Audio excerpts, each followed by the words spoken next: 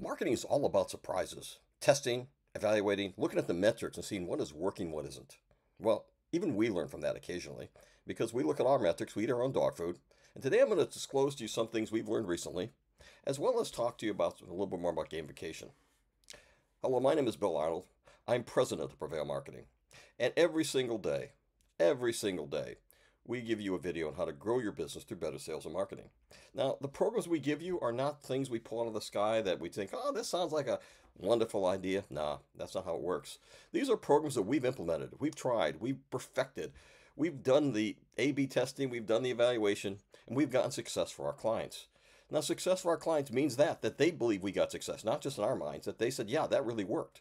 And so what we try to do is give you a variety of techniques and strategies. And if you need more, you can always go back to prevailmarketing.com and get that information, get that understanding, get that education. And we try to come up with things that maybe not everyone's talking about. I mean, we're not doing this obviously for the likes and follows because we're not getting a whole lot of likes and follows, so that's not why we're doing this. We're doing this because we generally want to help educate. And so we started this last week doing a series on gamification.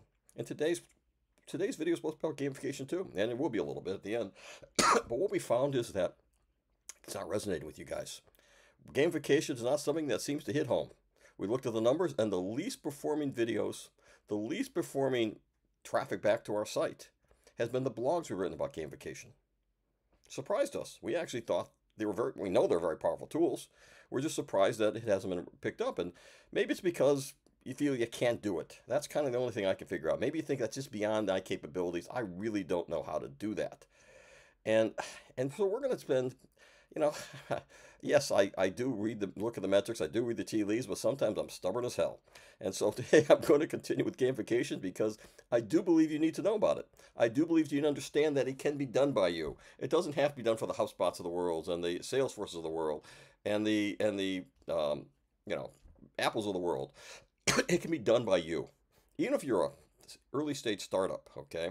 And it doesn't have to be big, doesn't be huge. It can be like 10 people, it can be 15 people. It doesn't have to be a huge, huge concentration or demand in your campaigns. So today, I'm going to dig the hole deeper, if you will. I'm going to dig down and, and share with you guys something you probably don't care about. But, you know, for those that do, the few that really resonates with, I'm true to my word. I said I'd cover these things. So we're going to do that. Today we're going to talk about how you set up a gamification program and to, and what metrics you should track. And tomorrow we're going to give you three examples, powerful examples that worked. And so you can see the picture and the performance. And after that, we'll go back to the more mundane stuff, the SEOs and, uh, you know, UX, UI, things like that that we've talked about normally. But I do want to just be honest with you guys. I'm surprised. I really am. So let's get right to it. Right to it. Right. I spent 10 minutes talking about something else. All right, let's get to it. All right. If you want to set it up, there's basically a number of steps. You have to figure out what you want to do. Okay, you want it for client loyalty. You want to generate sales. You want to motivate your uh, uh, brand advocates to take action. Those are typically kind of programs you have. Figure out what you want to do. Identify who you're targeting. I mean, who you're talking about two groups now. you're talking about the people you want to bring on to the gamification panel to participate and you want to talk about who they're going to influence or what they want them to do. So you need to understand all that, okay? You understand like how you're going to run the game. If you haven't run a game before, don't try to do it on your own. This is one area you're probably going to need to buy a game or rent, rent not buy. You're going to lease a gamification platform, get a license for one of them. I mentioned the previous ones you should to do with. They're going to set up the design interface. They're going to do all those things that you need to do. So it's basically figure out you know what the points you want to how many points for every activity and set up the strategy you don't need to create and shouldn't create uh, a brand new program for yourself. Doesn't make sense. Then you're going to, you know, set up the program, set up the strategy. You know, what do I want them to do? What am I going to award points to do? How I'm going to go from that easy basic steps where it's going to be just little actions to where they're going to actually generate results. then you promote it, you optimize, and you analyze. Make sure you have meaningful rewards. It fails on its face, I promise you, if you give them nothing. People will do a lot for very little, but there's got to be a value to them. So if it's your swag has value, great. If it doesn't, don't try to push them with swag. Give them gift cards. Yes, it may cost you $25, $50. If you have a, a big conference in the year or an industry conference in the year, get the prize being industry conference. I'm going to show you an example tomorrow. We did that for a client for Comic Con. Went them from being a B player to the A player.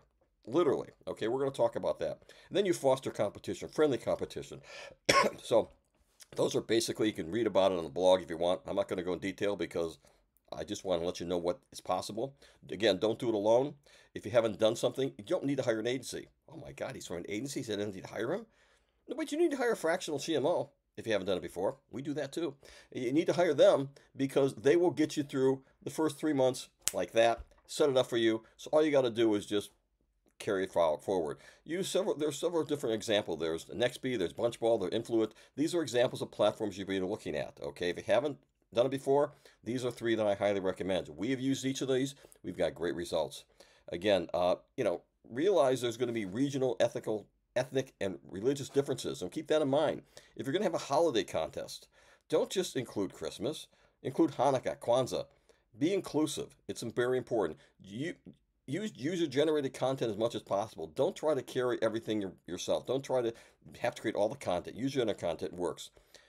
Incorporate storytelling in what you do. Use nostalgia. If you go back to the to the uh, days gone by where you know it might be where they remember something from their childhood, sometimes that can really be impactful. And make it fun. After all, it's a game. Make it fun. If it's not fun, no one's going to do this. Okay, if you're going to track KPIs, we're going to name a few you need to track. As you know, we track 400 KPIs for every single client every single month. We never guess. You shouldn't guess about your gamification whether it's working. You need to know what's working, what isn't working. So engagement rate and activities. Figure out what figure out what activities are actually generating results, and then you know make sure you optimize those. The ones that are not working particularly well, either swap them out or optimize them. Adoption rate of participants. You're going to find that 20% of everybody runs the program. But if you have people who are not participating, either figure out a way to motivate them or eliminate them because nothing kills a gamification program worse if you have a lot of people just sitting on the sideline doing nothing. It's sort of like a virus, it spreads. You got you've got to keep people active and inspired. So if there are people who just can't get motivated, politely say, look, you know, we we basically need people who want to be brand advocates, who want to participate, who, who feel value in this. So, you know, if unless you can do this, we need to we need to move on and still want you, still need you, but this program is just not for you. Track scoring and rankings. That's important. This is a game. This is a competition. You want people to feel that. But don't list the top 10 if there's a big chasm between them and everybody else. It would be disheartening. So show the people five above each individual and five below. So everyone feels they're in competition with somebody and they and they'll target each other. They'll they'll they'll, they'll I don't want to say fight, but they have a friendly confrontation to try to be number one in their group. Look at the conversion rates. Again, is it is the ultimate thing doing what you need to do. if you're setting for loyalty, is the loyalty increasing? If you're setting for sales, is the sales increasing? If it's setting is it if it if it's setting up for for brand advocates to take action, is that doing it? So you need to look at those conversion rates, the end game that what you want to think, not the activity, but the end game. If I want more sales, am I getting more sales? And of course, at the end of the day, you have to look at the return on investment. Why? because if there's there's a lot of marketing programs that look like they're getting great results, but they're costing the company as much as they're creating. It can't be that way. You have to have an ROI. So, but it takes a while to generate. So look at a full six months before you decide to pull the plug or that's not worth your while. Guys, I went through this in a very, very quick way because honestly, I'm just trying to honor the fact that, you know, maybe you maybe some like it and they need to hear it. If you want more, and I went through for fast, I apologize. Give me a call. I will walk you through it line by line, item by item. I'm not going to charge you for that. I'm just going to give you the education, and then we can you can go from there. Because I do want to give value to people who find gamification to be of value. So thank you very much. Have a good night.